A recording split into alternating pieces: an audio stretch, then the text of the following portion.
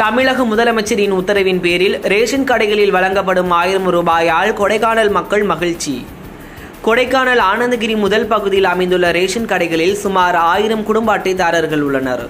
இதுவரை சுமார் அறுநூறுக்கும் மேற்பட்டோருக்கு அவரவர் வீடுகளுக்கு சென்று இலவச பொருட்களும் ரூபாய் ஆயிரமும் வழங்குவதற்கான ரசீதி வழங்கப்பட்டுள்ளது. மீதமுள்ள குடும்ப அட்டைதாரர்களுக்கும் சேர்த்து இன்று காலை எட்டு மணி முதல் மாலை ஆறு மணி வரை தினமும் நூற்றி ஐம்பது நபர்களுக்கு வழங்கப்படும் என அங்காடி பணியாளர்கள் கூறுகின்றனர். ஏப்ரல் பதினைந்தாம் தேதி வரை குடும்ப அட்டை வைத்திருக்கும் நபர் ஒருவருக்கு பதினாறு கிலோ முதல் முப்பது கிலோ வரை அரிசியும் எண்ணெய் பருப்பு சீனி ஆயிரம் ரூபாய் வழங்கப்பட்டு வருகிறது. காவல்துறை உத்தரவின் பேரில் ஒவ்வொருவருக்கும் ஒரு மீட்டர் இடைவெளி விட்டு நின்று வரிசையில் இலவச பொருட்களை பொதுமக்கள் மகிழ்ச்சியுடன் வாங்கி சென்று வருகிறன் வருகின்றன ஏஇடி நியூஸ் செய்திகளுக்காக கொடைக்கானல் செய்தியாளர் ஜெய்.